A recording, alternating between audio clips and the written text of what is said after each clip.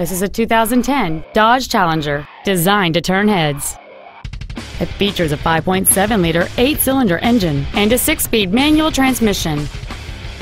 Its top features include heated seats, a leather-wrapped steering wheel, cruise control, and steering wheel mounted controls, MP3 compatibility, commercial-free satellite radio, a traction control system, an anti-lock braking system, and this vehicle has fewer than 1,000 miles on the odometer.